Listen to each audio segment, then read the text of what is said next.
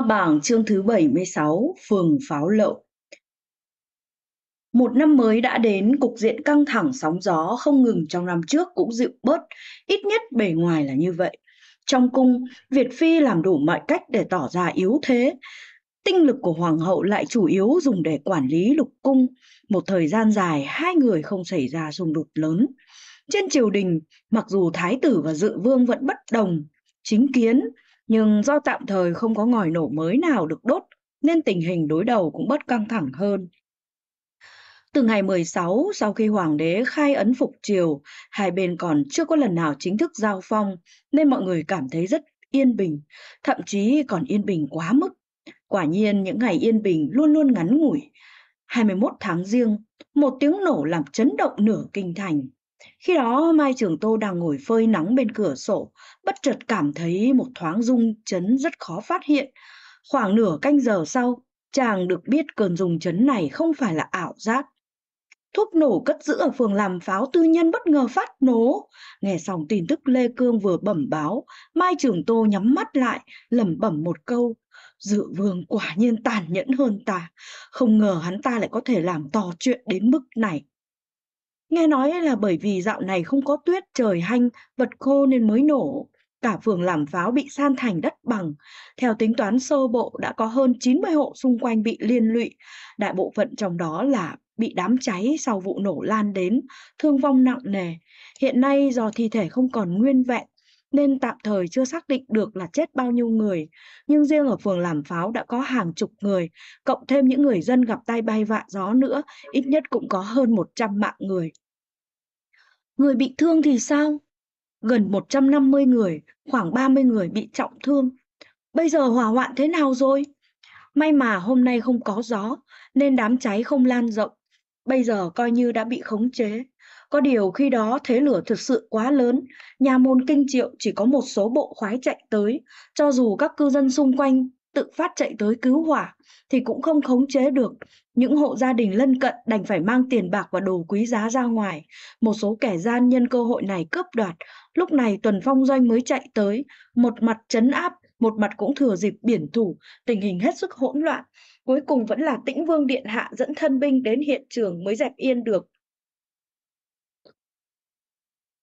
Sau đó Tĩnh Vương Điện Hạ sai người mang một số lều chướng quân dụng đến để tạm thời an trí nạn nhân và người bị thương. Dược phẩm và các đại phu ở Thái Y Viện tạm thời không thể điều động vì chưa có thánh chỉ của Hoàng đế. Vì vậy, Tĩnh Vương Điện Hạ đã bỏ tiền trưng dụng các đại phu trong dân gian, thuộc hạ cũng điều các huynh đệ ở dược đường trong kinh thành đến giúp đỡ. Làm tốt lắm, Mai Trường Tô khen một câu rồi lại bổ sung thêm. Bị bỏng rất khó điều trị, nhà họ Vân ở Tầm Dương có một loại thuốc cao trị bỏng rất tốt. huynh sai người chạy khoái mã ngày đêm lấy một ít về giao cho tĩnh vương. Dạ. Ánh mắt thăm thẳm của Mai Trường Tô đăm chiêu một lát, lại nói, bây giờ đã hết sắp hết tháng riêng rồi, không còn là giai đoạn nguy hiểm nhất nữa. Vậy mà lại xảy ra tai họa thảm khốc này tình cờ không khỏi quá khéo truyền lệnh ta nhất định phải điều tra tỉ mỉ, trọng điểm nhằm vào dự vương, cố gắng tìm được bằng chứng hắn cố ý gây ra vụ nổ này. Bao nhiêu mạng người như vậy, hả cớ có thể im hơi lặng tiếng mà chết, có bất cứ tiến triển nào phải lập tức bảo, mật báo cho ta. Dạ, sau khi Lê Khương còn Lê Cương khom người lui ra, Mai Trường Tô chậm rãi đứng dậy, đi tới bên cạnh bàn sách mở một tập giấy tuyên thành trắng như tuyết ra, bắt đầu chấm mực vẽ tranh để ổn định. Tâm thần, phiêu lưu cũng đi vào, yên lặng cầm một cây bút nằm bò xuống bàn tranh cùng với chàng. Ngoài cửa sổ, mặt trời chậm rãi di chuyển, tâm trạng Mai Trường Tô cũng dần dần bình tĩnh lại. Một bức vẽ xong, dừng bút đứng dậy, Chàng cảm thấy hơi mỏi lưng, thiếu niên bên cạnh cũng ngẩng đầu lên, đôi mắt to trong trẻo tràn ngập ân cần. Phiêu lưu ra ngoài chơi đi. Không, thiếu niên lắc đầu. Vậy cùng Tô ca ca ra ngoài một lát. Được. Mai Trường Tô lấy một chiếc áo lông cổ lật bằng da trồn lên, trên giá áo bên cạnh mặc vào rồi đi ra ngoài cửa phòng. Thấy chàng mặc trang phục ra ngoài, hộ vệ canh khắc vội vã chuẩn bị kiệu sau khi ra cổng, theo lệnh của Mai Trường Tô, đám người đi xuyên qua phố nhỏ, đến một khu phố vẫn đang còn bốc khói. Dù chưa lập hàng rào cấm, nhưng các bộ khoái nha môn kình triệu đã lập thành từng tốp ba người, ngăn cản những người không phận sự đi vào hiện trường. Đứng xa xa nhìn lại, nửa con đường đã đổ nát, mùi cháy khét tràn ngập, thỉnh thoảng còn có một vài ngọn lửa nhỏ bùng lên, nhưng lập tức bị các quan binh tuần tra nước dập tắt. Mai Trường Tô xuống kiệu, đi dọc theo con đường đổ nát tiến vào trong, thấy chàng mặc y phục không tầm thường, dù không biết là ai, bộ khoái phụ trách canh gác vẫn xét hỏi theo chức trách, nhưng thái độ tương đối hòa nhã. Ta là... Mai Trường Tô đang nghĩ xem nên trả lời thế nào thì tốt hơn, đột nhiên nhìn thấy Trung lang tướng liệt chiến anh của tĩnh vương phủ đi ra từ một chỗ rẽ, liền ngẩng đầu nhìn chào hắn. Thực ra Liệt Chiến Anh chưa bao giờ nói chuyện với Mai Trường Tô, nhưng hắn vẫn có ấn tượng sâu sắc đối với vị Tô Tiên Sinh đã trực tiếp khiến cho nội bộ tĩnh vương phủ phải chỉnh đốn hàng loạt. Thấy Mai Trường Tô chủ động chào hỏi, hắn cũng lập tức lịch sự đáp lễ. Các bộ khoái ngơ ngác nhìn hai người hành lễ chào nhau, cho rằng đều là người của tĩnh vương phủ, nên vội tránh sang bên cạnh nhường đường. Mai Trường Tô bước nhanh tới hỏi, tĩnh vương điện hạ đâu? Ở bên trong, Liệt Chiến Anh đưa tay chỉ, đột nhiên cảm thấy không thỏa đáng lắm nên hỏi thêm một câu là điện hạ mời tiên sinh đến à? Mai Trường Tô quay lại nhìn hắn một cái, cố ý nói, không phải, điện hạ vẫn tránh không muốn gặp ta. Hôm nay nghe nói điện hạ ở đây, cho nên ta mới tới tìm. Liệt Chiến Anh ngẩn vừa ngẩn ra, Mai Trường Tô đã nghênh ngang đi vào. Đến lúc hắn ta phản ứng lại, vội vàng đuổi theo, thì Tĩnh Vương đã dẫn thân binh từ bên trong đi ra, ba người gặp nhau ở một chỗ.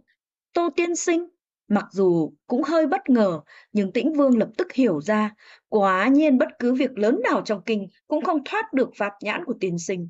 Mai Trường Tô đưa mắt nhìn quanh, mặc dù tiếng khóc than vẫn văng vẳng bên tai, nhưng không có nạn nhân lang bạt ở ngoài đường.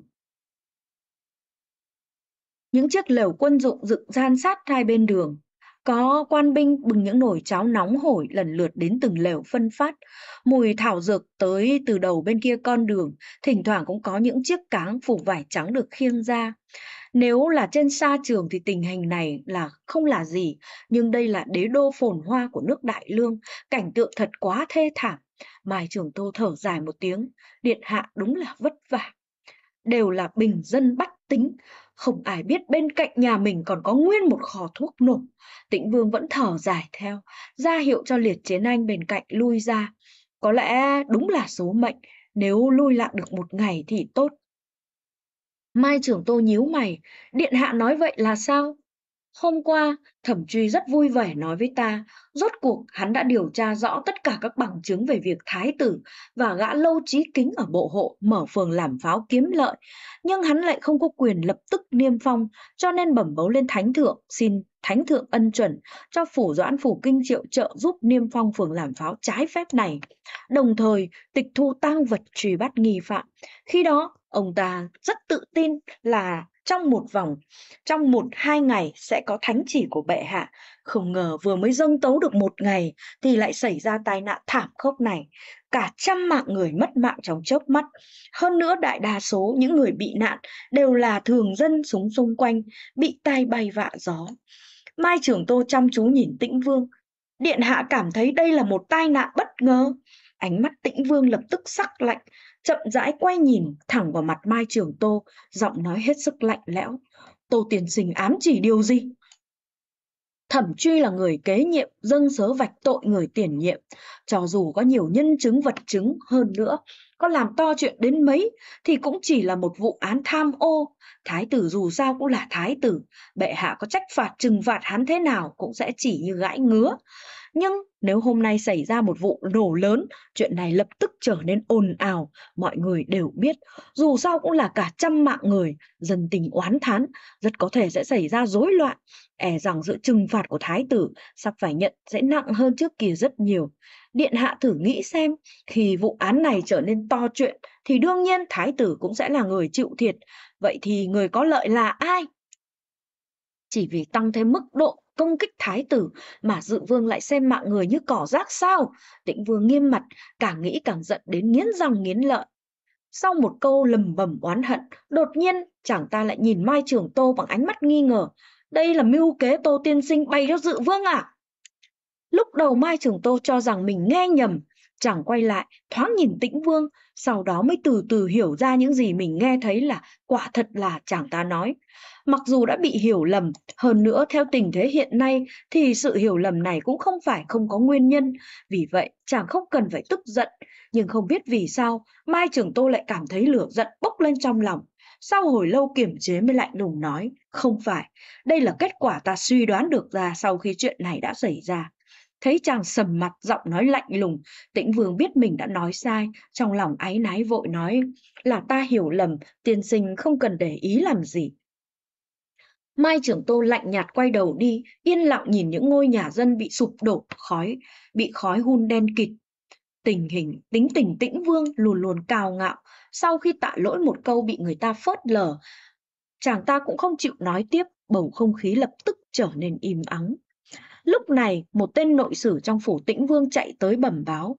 Vương gia, thuộc hạ đã phụng mệnh trà rõ. Ngoài các vật tư mang từ trong phủ tới, quân danh đã bỏ ra 200 chiếc lều, 450 chăn bông. Những thứ này đều là đổ quân đổ quân nhu, có cần bẩm báo lên bộ binh hay không? May mà có người nhắc nhở, nếu không ta cũng quên mất chuyện này. Dù đây không phải việc lớn, nhưng vẫn nên bẩm báo cho bộ binh một tiếng thì tốt hơn. Dạ, Nội sử vừa định quay đi, Mai Trường Tô đột nhiên thấp giọng nói hai chữ. Do chàng nói quá nhỏ, ngay cả tĩnh vương đứng chàng một bước chân, lúc đầu cũng không đoán được mình có nghe đúng không? Hắn chàng ta quay đầu lại nhìn Mai Trường Tô, thấy chàng cúi đầu vẻ mặt bình thản, không hề có ý định nhắc lại lần nữa, trong lòng không khỏi khẽ động, lại nói với nội sử đó. Hiện nay người cũng có nhiều việc, cứ coi như bản vương quên, người cũng quên, tạm thời không cần báo lên bộ binh. Nghe thấy lời dặn kỳ quá như vậy, nội sử thật sự cũng không nghĩ ra là vì sao, kinh ngạc há miệng đứng ngẩn ra một hồi. Đến tận lúc tĩnh vương nhíu mày, mới vội đáp dạ rồi bước nhanh đi. Đợi hắn đi xa, tĩnh vương mới chậm rãi hỏi, tiên sinh có biết mặc dù số quân nhu này đã được cấp phát cho ta, nhưng nếu dùng để an trí nạn dân thì sẽ là sử dụng không đúng mục đích. Theo quy củ quả thật nên thông báo cho bộ binh một tiếng. Vì sao tiên sinh nói lại không báo? Hiện nay có phải thời chiến không? Không phải. Đây có phải là một lượng quân nhu rất lớn không? Số lượng này gần như không đáng là bao. Lều và chăn bông dùng xong không thể thu hồi lại dùng tiếp hay sao? Cuối cùng đương nhiên là phải thu hồi. Không phải thời chiến, cho nạn nhân mượn mấy chiếc lều, mấy chiếc chăn bông thì có chuyện gì là lớn không? Chuyện tuy nhỏ nhưng mà theo quy củ vẫn phải bẩm báo, không bẩm báo thì sao? Ánh mắt tĩnh vương chăm chú, tiên sinh nên biết bộ binh là phạm vi thế lực của thái tử, lỗi này mặc dù nhỏ, nhưng một khi bộ binh nắm được thì e là vẫn có người chỉ trích ta, chính là cần bọn chúng chỉ trích điện hạ.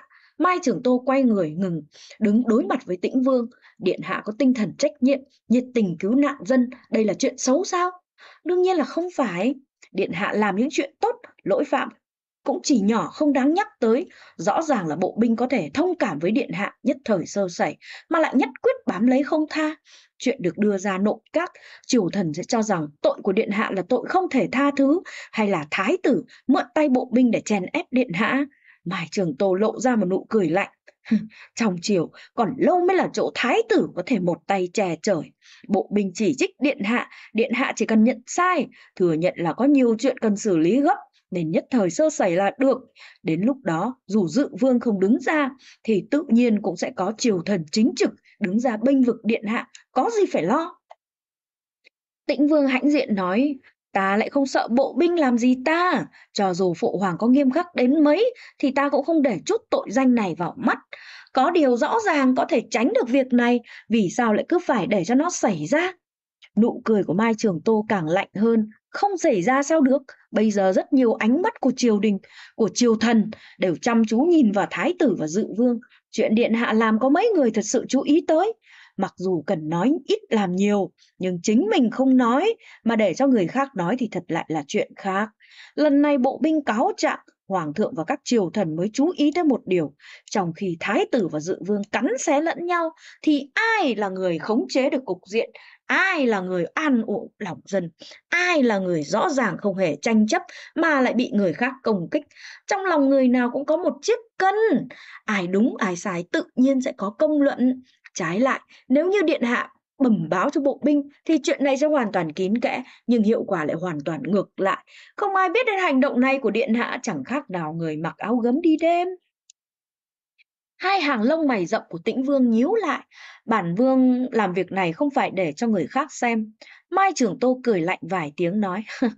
Nếu trước khi làm đã nghĩ là cần làm cho người khác xem thì đó là vấn đề đức hạnh của điện hạ. Nhưng nếu sau khi làm lại không biết có ai biết đến thì đó chính là gã mưu sĩ này vô dụng. Cứ coi như là vì tô mỗ mong điện hạ chịu tủi thân một chút. Tĩnh Vương nghe chàng có ý trào phúng, lời lẽ sắc bén, biết chàng vẫn chưa nguôi ấm ức lúc trước, nên cũng không giận, chỉ hờ hững nói, tiên sinh luôn suy nghĩ cho ta, sao lại nói đến tuổi thân chứ? Tiên sinh suy nghĩ quả thật là chu toàn, ta tự biết không bằng tất cả. Tất cả đều làm theo điều lời tiên sinh nói. Hết chương thứ 76